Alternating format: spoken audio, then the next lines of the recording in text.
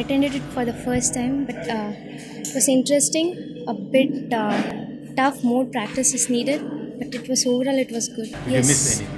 Uh, last few videos I missed, but yes, I attend almost I, I viewed uh, every video mainly because of uh, placement uh, requirements. Yeah.